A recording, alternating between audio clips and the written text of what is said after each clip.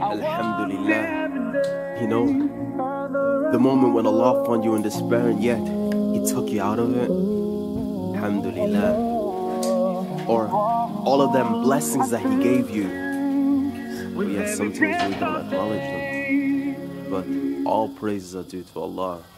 I guess this is my take. The days were hard, I couldn't see really far. I was feeling all alone, but I know you weren't so far.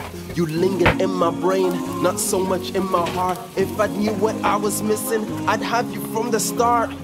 I remember them sad days when I walked alone in the rain and it was really hard to contain. So I was insane in the brain, so I complained about my life and I suffered with all the pain. Then I realized you were closer than my jugular vein, and really you were always there.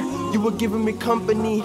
You told me there's your Jannah, cause this dunya ain't so worthy. You told me I'll have my justice, just have patience, don't you worry. I am the Akbar, the most kind, I'll show you mercy. Allah created all things, even the love within your heart. So those happy moments you shared, Allah gave you the greatest part.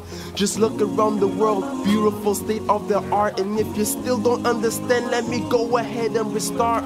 Your eyes, your ears, your mouth, even the breath that you just took, and every hardship must pass as mentioned in the holy book.